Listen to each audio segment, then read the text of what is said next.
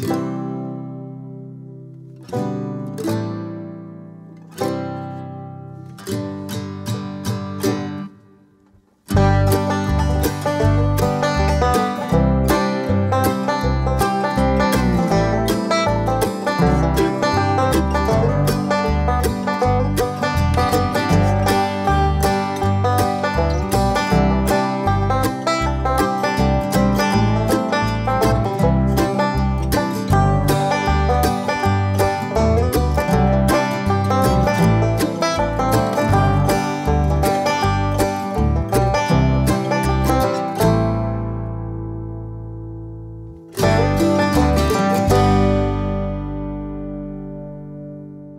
Takže jsme vyrazili na další výlet.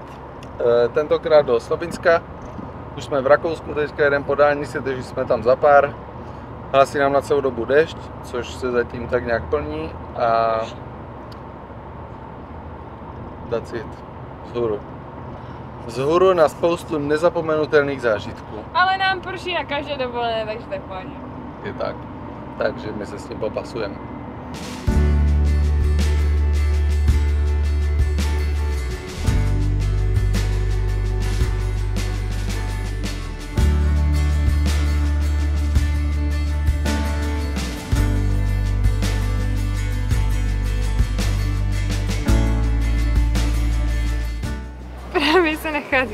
Lublani, kde jsme dneska taky strávili eh, noc vedle zoologické zahrady. A momentálně jsme v centru a jdeme se tady trošku porozhlednout.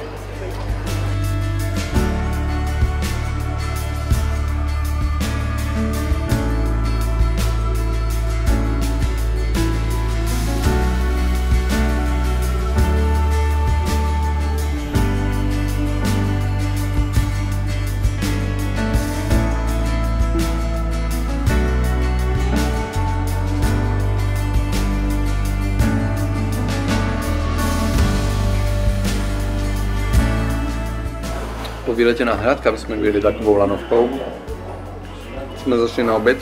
Tady jsme si tady nějaké noky s houbama, houbovou polívku z chlebu, síry, víňovou polívku. Tam je místní speciality.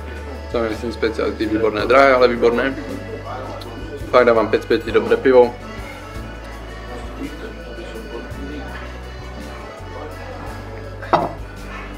Znovu vypijeme. No a dál pokračujeme na jich. Už se dostaneme k moři konečně, e, do města jménem Piraň. Pirani. Takže se vydáváme na cestu a běžíme tam. Teda hned co dojíme tady všechny ty dobroty. A ještě jdeme na burek. Jo, ještě nám bude kde.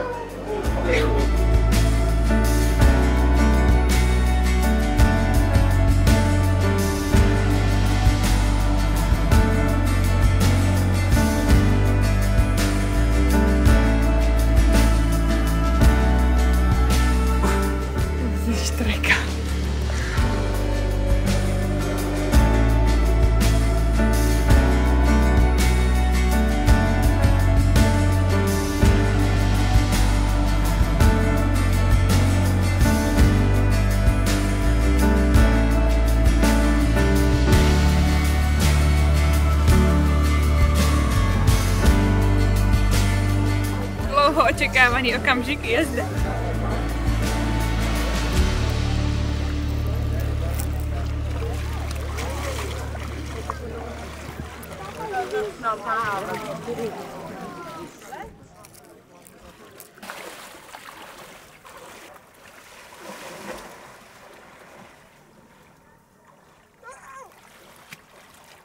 Jelikož jsme na pokraji Itálie, tak si dáváme italskou pizzu, která sice nemá s normální pizzou nic společného italskou, ale to nevadí.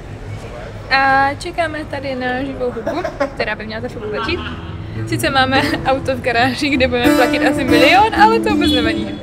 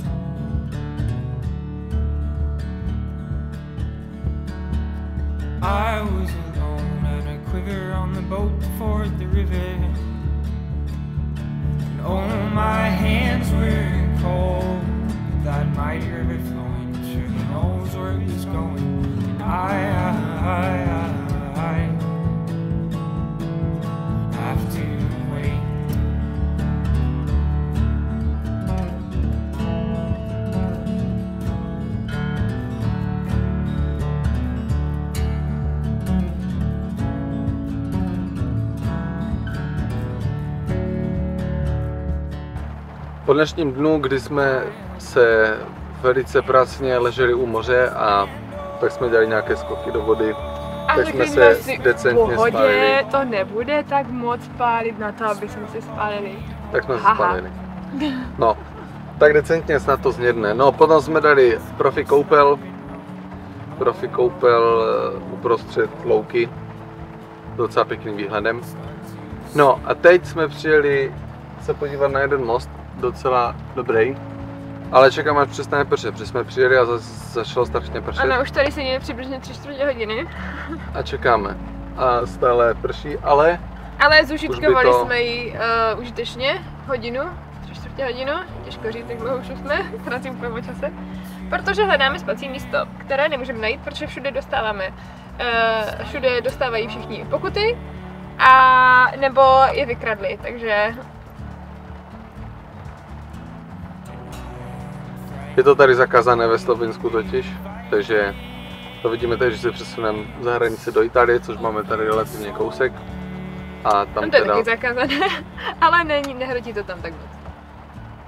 Okay. Hmm, to je asi vše. Nic víc už nebude. A jdeme hledat dále. No takže. Nejdi?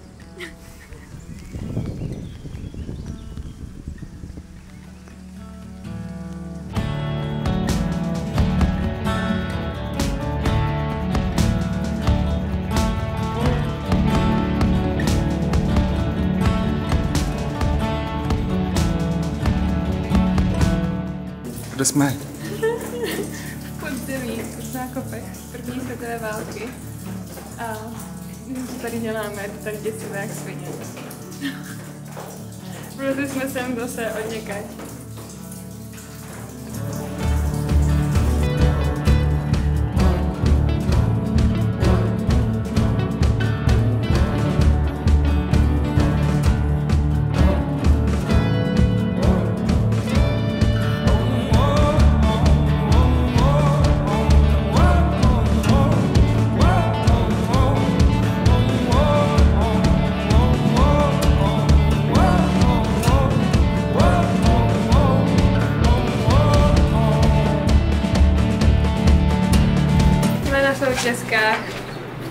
To všechno se na kopce.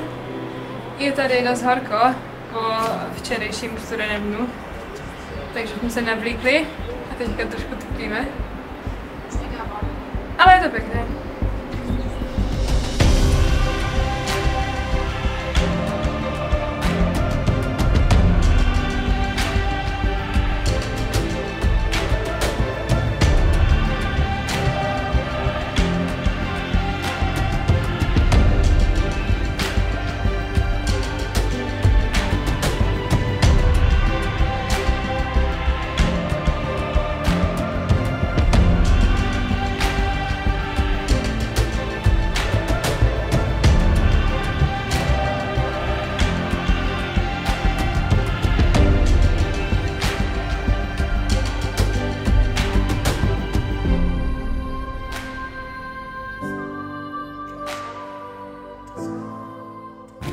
Takže, teď jsme si byli očihnout terén na naší zítřejší aktivitu, která bude docela zajímavá.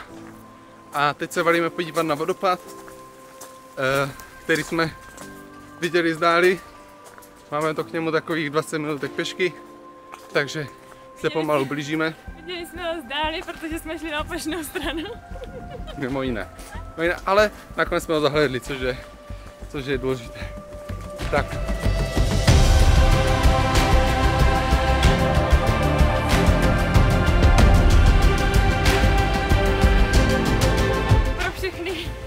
Pro všechny, kdo si Dejte ho za normální cenu a ne za cenu hotelu s pěti hvězdičkama, protože je to pěkně... Nebudu prostě. Protože to postrádá smysl. My totiž bychom v těch kempech možná i spali, chtěli jsme to zkusit. Jenže když člověk zaplatí za kemp, Jako promiň. Ještě víc než za 4 hotel. euro Za to, abych si tam roztáhla nic v podstatě, abych si tam zaparkovala. no, člověk si tam zaparkuje svým autem, spí tam ve svojí posteli, ještě si zaplatí za elektřinu, zaplatí si za sprchu a co z toho vlastně. Takže radši půjdu do toho hotelu za ty prachy a mám mnohem větší luxus. Takže prostě proto se tomu snažíme tak nějak vyhýbat. A když už teda k tomu dojde, tak se snažíme najít nějaké místo, které je právě přesně takhle koncipované, že prostě jdeme k někomu takhle malému a nebereme žádný, žádný veliký kemp.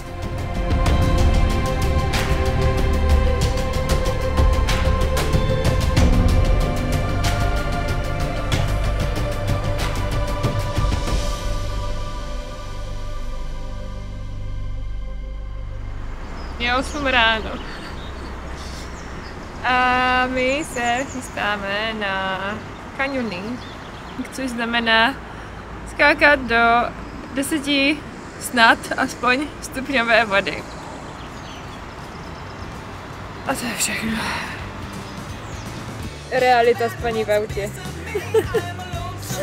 Realita spaní v autě a sušení oblečení.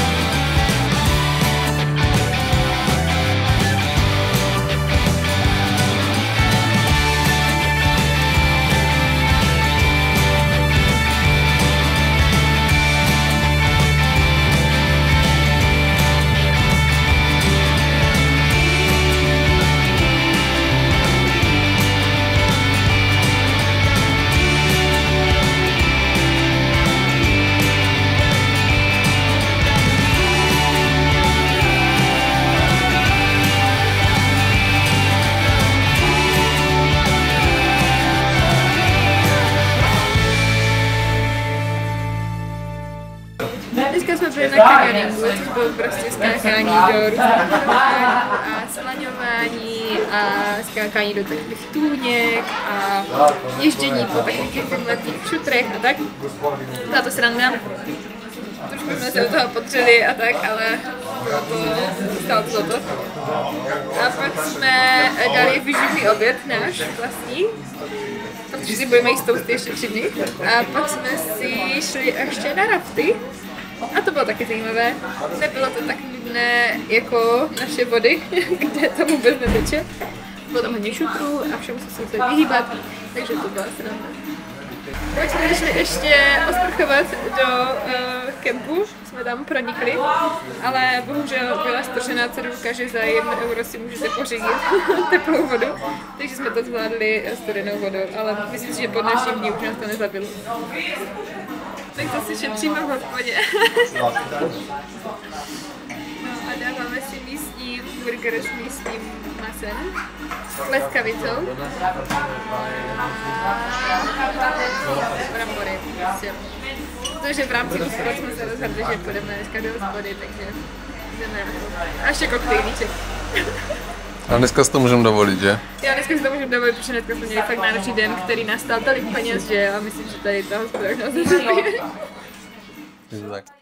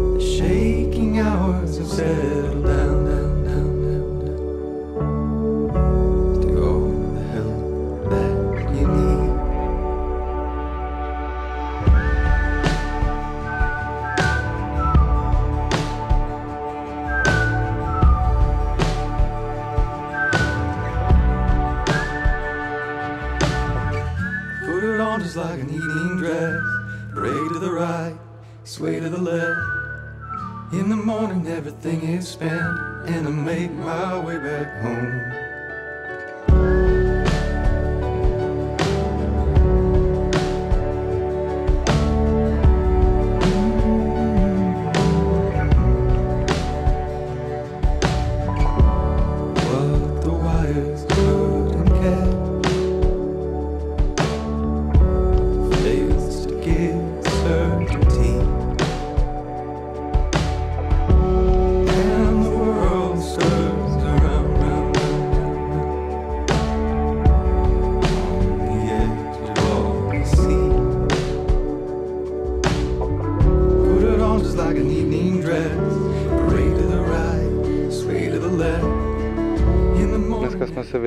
Oficiální cestou a vybrali jsme ubytování na místní farmě za nějakou symbolickou částku.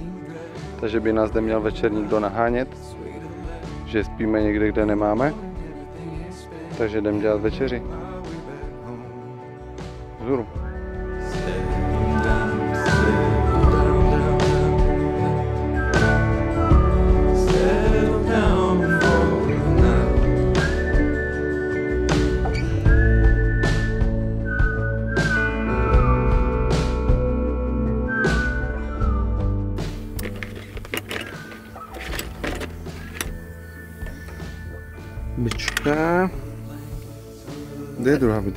To musí být přesně na těch brusínek.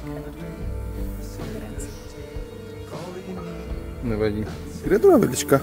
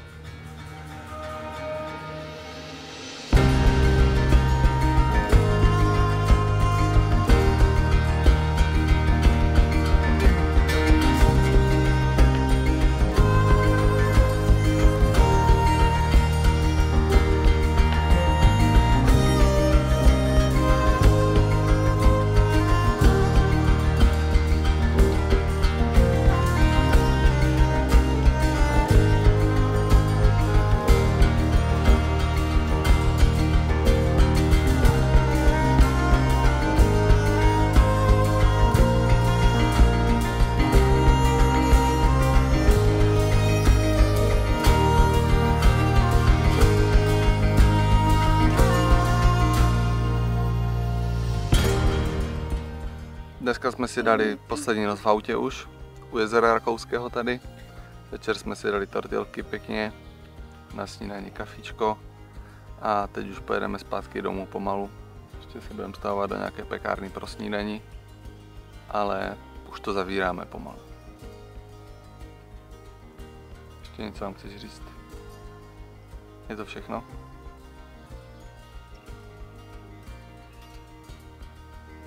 Tak to jdem pobalit a jedem.